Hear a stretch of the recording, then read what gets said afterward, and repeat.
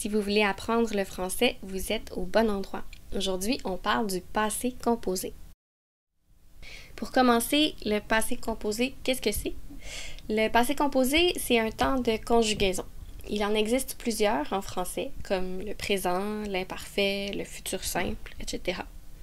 Le passé composé est un temps qui sert à exprimer une action qui a eu lieu dans le passé et qui est normalement terminée au moment où l'on parle. Observez le texte suivant. J'ai regardé un film d'action hier. Le personnage principal a sauvé les gens coincés dans un immeuble en feu. Il est tombé et il s'est blessé gravement à la jambe. Heureusement, une infirmière dans l'immeuble a soigné sa jambe. À la fin de l'histoire, le héros a embrassé l'infirmière et ils sont partis ensemble. Dans ces phrases, les verbes sont conjugués au passé composé. Qu'est-ce que vous remarquez? Comme son nom l'indique, le passé composé est un temps composé.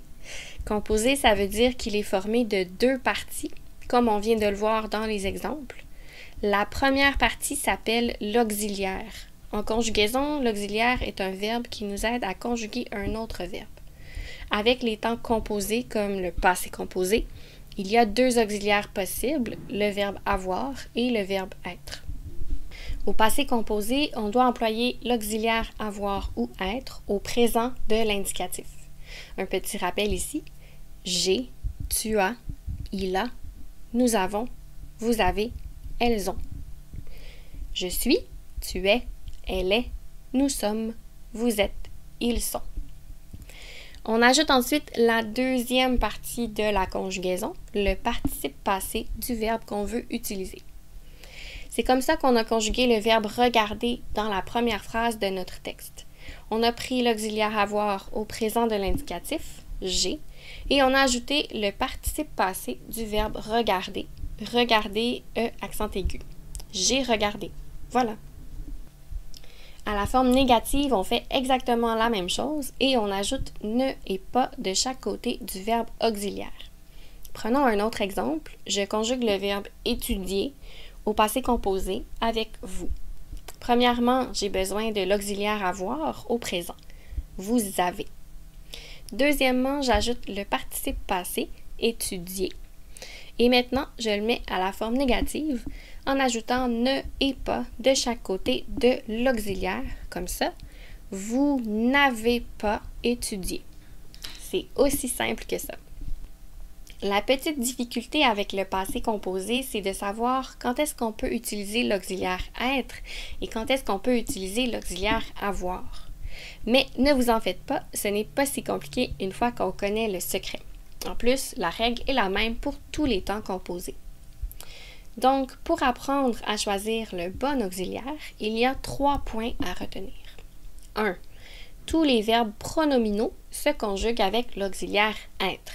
Par exemple, je me coiffe au présent devient je me suis coiffé au passé composé. 2. Un petit nombre de verbes intransitifs se conjuguent aussi avec l'auxiliaire être. Intransitif, ça veut dire que ce sont des verbes qui ne prennent pas de complément dans la phrase. Voici les 16 verbes principaux de cette liste. Je vous conseille simplement de les mémoriser. D'abord, certains verbes qui expriment un changement d'état ou une transformation. Naître, mourir, décéder et échoir. Ensuite, certains verbes qui expriment un mouvement ou un déplacement. Aller et venir. Arriver et partir. Entrer et sortir monter et descendre,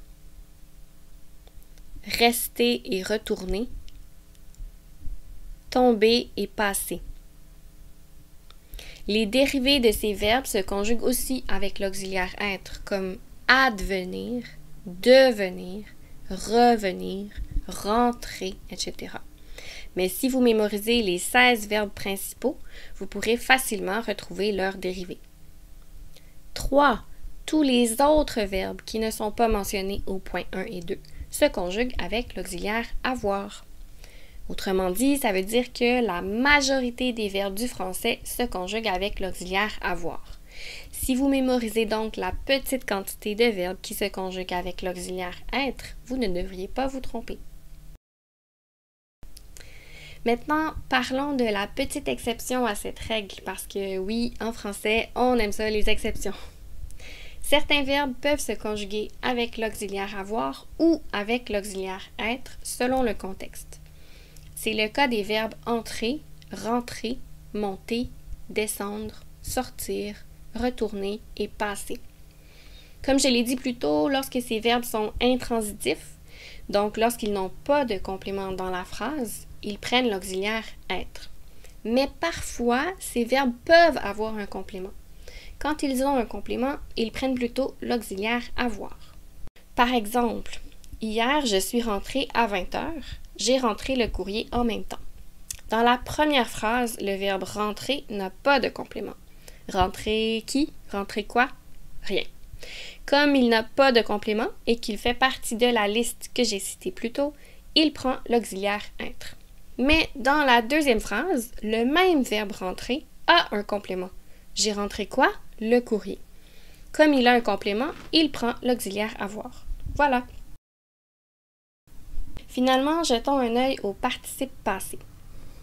En effet, une fois que vous avez trouvé le bon auxiliaire, il vous reste seulement à former le participe passé du verbe que vous voulez conjuguer.